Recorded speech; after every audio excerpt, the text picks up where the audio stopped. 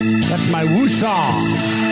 What are we talking about today? So we here in Florida, we are on the East Coast. We're right about dead middle of the state. We're about 40 miles south of where Cape Kennedy is, Cape Canaveral, and all that. We, we, we the, this West Coast area got hit by the uh, outer bands and, and floodwaters of Hurricane Helene that came through, and uh, it caused a lot of problems for, for everybody.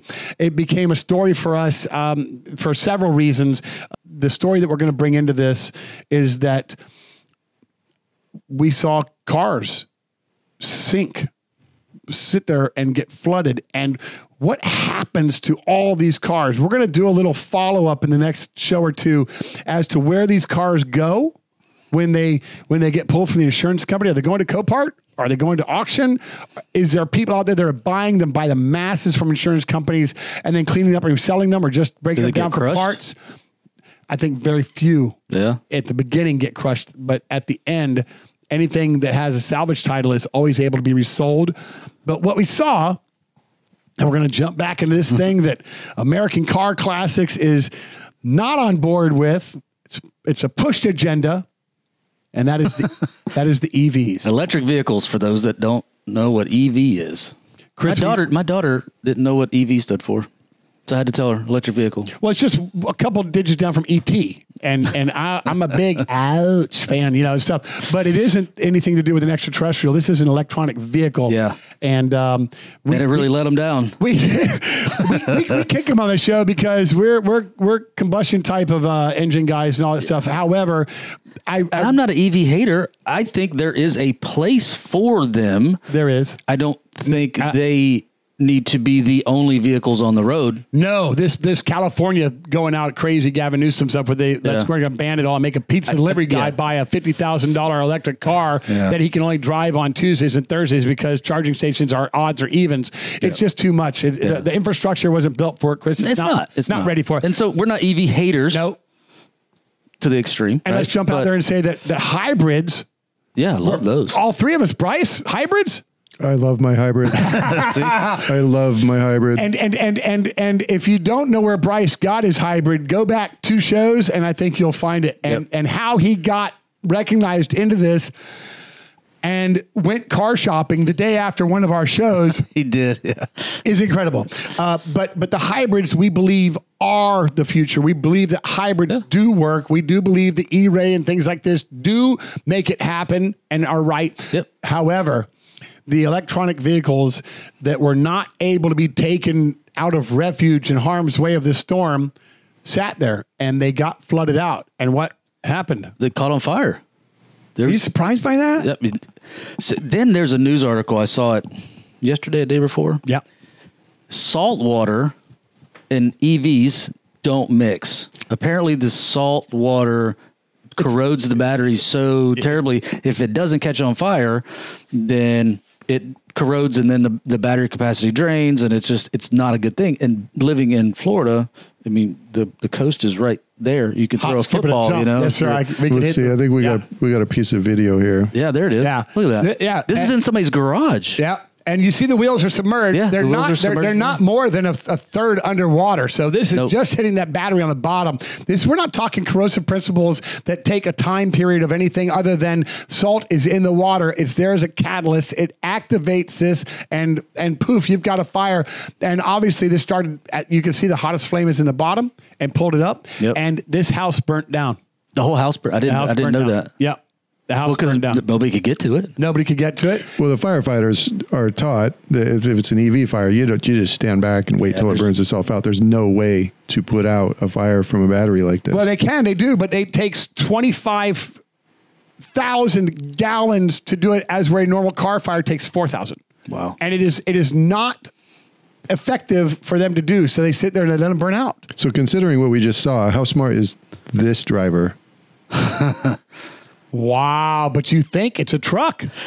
It's got height, Right? Didn't, wheels. didn't they? They talked about ground clearance, and you can do everything in the Cybertruck, and this, that, and the other. Um, man, I don't. but he doesn't know, and he wasn't told he doesn't know. And that could be fresh rainwater inland that was that was you know not not going down from storm drains. So that could not be saltwater activated anything, Bryce. That may be he may be okay. But it's still water getting to a battery. It is still water getting not just the water, but the corrosion. And and how about the fact that these batteries aren't sealed that very well?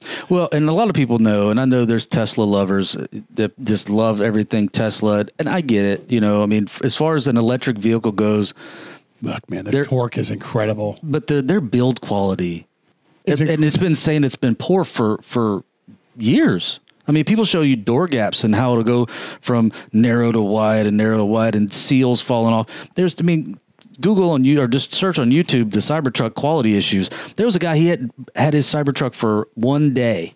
He was his sprayer wasn't working for his windshield wiper, and it was just leaking on the bottom of the car. It wasn't even connected to the the thing on the windshield. I mean, their build quality just isn't the best.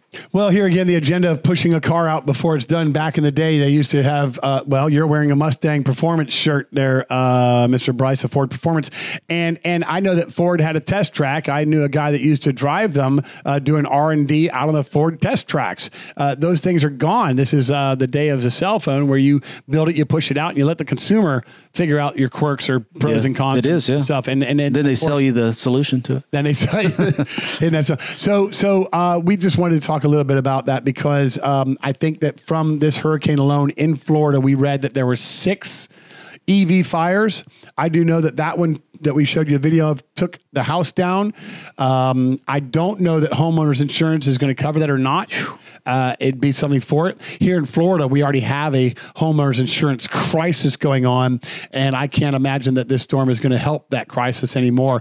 But the the we read just the other day um, that uh, High Ford told 180,000 hybrid owners to not park your car inside while they look for a repair Yep. on one of their circuits or systems. They absolutely did. They said put your car outside uh, and don't charge it in the garage. Yeah, and recalls are nothing new to cars. Man, the recalls would go on for forever and ever. They're technical service bulletins. We call them TSBs, Yeah. or, or a recall when it comes up. And our Dolphin Auto uh, has a has Mitchell One, which gives us a support icon that says that flashes when we enter a VIN, and it tells us there's a recall notice that we can inform the customers about be about it immediately, so they can go out and go ahead and get that taken care of, or let us go ahead and call the dealership get it taken care of for them.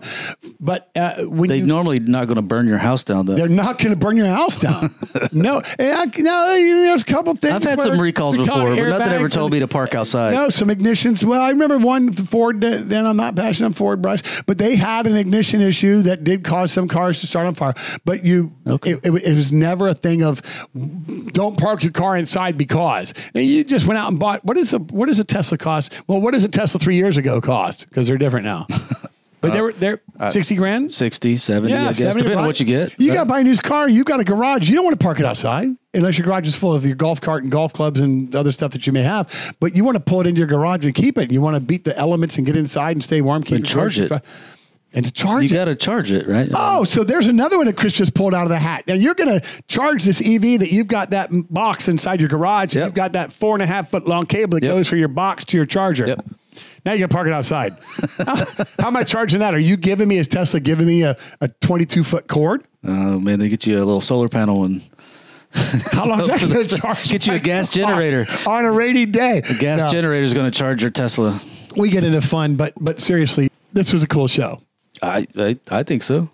Did you guys think so? Yeah, that's what's going to matter. Look, we we normally do a little bit more on cars. We normally do uh, uh, uh, some tech talk, and we we bring in people that that help us out, Mecum people or whatever else, and and and give us more information than we can just bring to you. Yeah. They're the experts in the field, so it is important to go back what Chris wanted to talk to you all at the beginning of the show about, which was we're only here to bring you stuff that you want to see. So if you liked us enough and if you like the format enough, then hit a like button. Even if you didn't, still hit the like button. It, it really costs them nothing. like if they spilled their coke and they just hit it by accident, at least they hit oh, like. oh no, I liked it. Yeah, I hate to whore myself out and say hit the like button, hit the subscribe, Dude. leave us a comment. Those those things are repetitious across weird. the web. You you you are asked that by every person, Everybody. you know, and so I, I guess we're gonna just keep doing that. But it makes a difference. Uh, Dolphin Auto sponsors this show. We have a lot of supporters like like Jasper Engines and Transmissions and O'Reilly Auto Parts and Mecum Auctions, the number one auto auction in the world, and um, they do care about us and and we support them as they support us. And um, all right, well, we got to end it somewhere. All right. Thanks, guys. Appreciate it. Come back. This is American Car Classics Radio Podcast.